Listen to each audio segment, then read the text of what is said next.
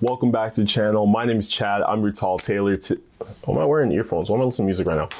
Welcome back to the channel. My name is Chad the Tall Tailor. As you saw by the title, we are making varsity jackets. Now, for like the two of you who don't know, varsity jackets are jackets made of wool or like a felt material for the body, leather for sleeves. They're usually popular in like high school and university varsity sports teams give their athletes a jacket you know i mean? They can put their name on the back of it and stuff like that a whole bunch of leather you guys know you guys know what varsity jackets are. I don't know why i'm why i'm explaining this. Anyway we're making a varsity jacket today. Um yeah.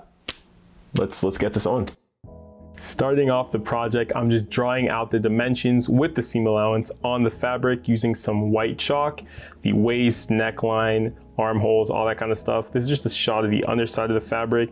It's the interfacing and the interfacing just gives the fabric more stability, more strength, that kind of stuff. Now I usually do draw it out on paper, which I did do here, but I just didn't take a video of that. But yeah, always draw out your stuff on paper first before you actually cut anything.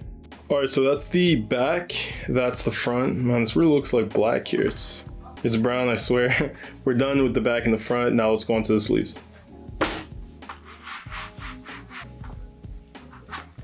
I took my red chalk and I drew on the underside of the leather, just the sleeve. I had to make a little bit of alterations because the leather is a little thicker than I thought, but that's okay, that's totally fine. Now that I chalked it out, I'm just gonna go cut all the edges.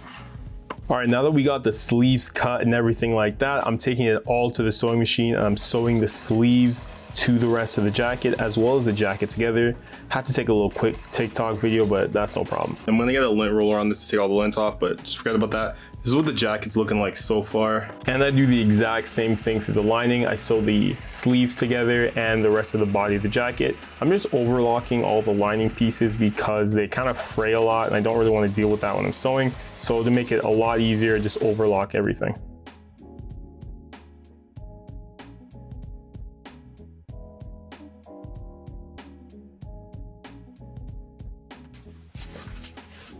All right, so now we're starting off with the welt pockets for the jacket. This is like the hardest, but also the most fun part. I'm using my hand to measure out the general shape of the pocket, which is what I usually do anyway.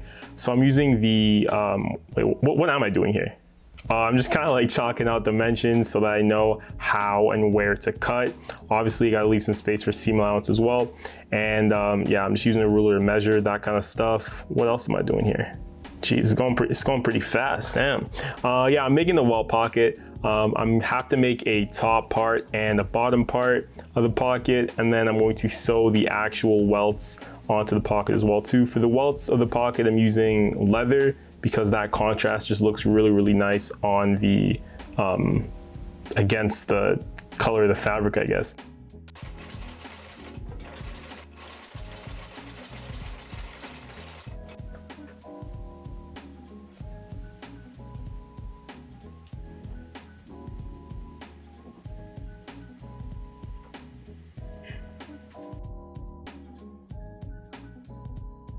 All right, so the pocket is sewn.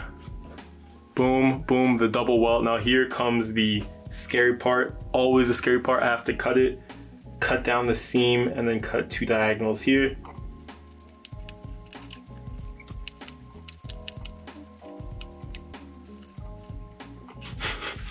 okay, my scissors is too dull to cut the corner have to cut it at a 45, but my scissors is just not sharp enough to cut it, so I'm gonna get like a razor blade or something. The diagonals are cut now. I have to flip this inside out and see if I actually did this properly.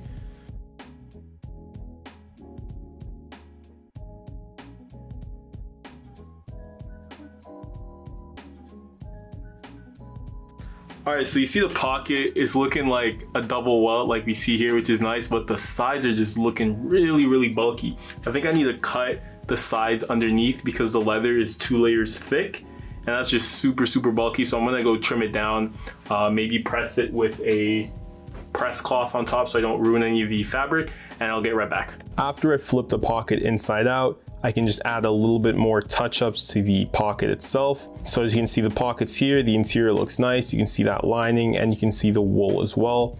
Um, I did the exact same thing for the other pocket of the jacket. And now that both pockets are sewn, I can sew up the rest of the jacket. All that's really needed to be done to finish up the shell and the lining are just to sew up the sides. So you can see me doing that here. I sew up from the side of the waist all the way up to the wrist part through the wool and through the leather. And now this is what the jacket's looking like so far. So you can see the uh, lining part. I also added a pocket and a little bit of plackets for the front of the jacket there. And I added these gussets at the armholes. Again, they didn't really need gussets, but I just thought that they look cool, so I just put them on there. Um, and this is what the shell's looking like, leather sleeves, everything's sewn up. And pretty much I'm almost done. I just need to add these two pieces together and do a whole bunch of like collar stuff and just little finishing detail stuff. Here I have the ribbing, which is what I'm gonna use for the collar. I'm using brown ribbing. I don't have like a two-tone brown cream ribbing. That's like impossible to find. I pretty much checked everywhere to find it, but that's okay because I'm gonna make my own by grabbing some brown ribbing, grabbing some cream ribbing, fusing those two together, you know what I'm saying? And then making some really nice striped ribbing. So here's just the brown, and I think later on you'll see me adding the cream to it. Maybe not, just passing the iron over it to make sure it's nice and soft. Jeez, all right. Um, I add the ribbing to the cuffs, the neck, the waist of the jacket, and then stitch both the shell and the lining together. Here's the jacket. It's in a cream and chocolate brown colorway with a maroon interior. Now let's break this jacket down one by one so you guys can see. As the client requested, we have ribbing on the collar, on the cuffs, and on the bottom here. Now, when it comes to the ribbing, I forever tried to look for cream and brown ribbing, but I, I couldn't find cream and brown ribbing. I don't know if it's just the stores didn't have it or I wasn't looking hard enough. Anyway, I took brown ribbing and I took cream ribbing and I just stitched them together to give that classic varsity striped ribbing look. The jacket is pretty wide in the body, so if you want to wear it with like a hoodie or maybe like a thicker undergarment, totally can do that. Um, the back is plain. Oh, it's got some thread there. Just take that off.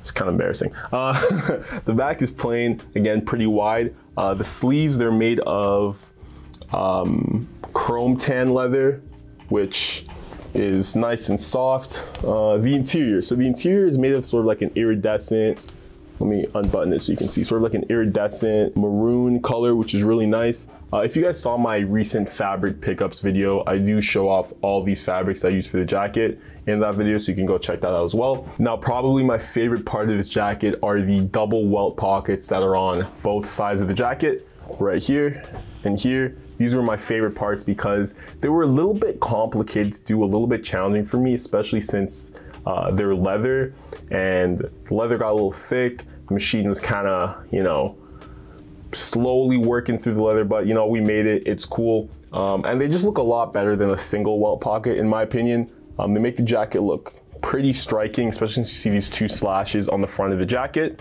Some other things about this jacket that I want to talk about, the closure for the jackets as regular um, varsity jackets have, they are these snaps.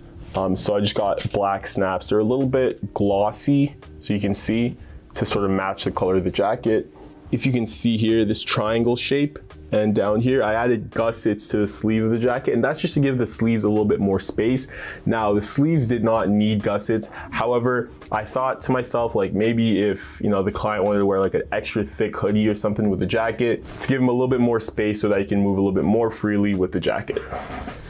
So that's pretty much it, man. I think this is probably the best jacket I've made so far. It's not my favorite jacket, but it's the best jacket I've made so far. In terms of the construction, the, just the entire process of making it, um, the look of it, the feel of it. The jacket's pretty, pretty hefty because of the leather sleeves and the wool. Uh, it's a pretty hefty jacket, so yeah. That's it, man. That's, yes, sir. Thank you guys for watching. Let me know what you think about this jacket in the description below. We are almost at 4,000 subscribers on this channel. Thank you so much for that. Um, yeah, if you like this video, make sure to like it and subscribe. I am going to make another jacket very soon. It's almost completed that you may like more or maybe just as much as this jacket if you liked it. Um, yeah, thank you again for watching. Uh, see you guys in the next video. Bye.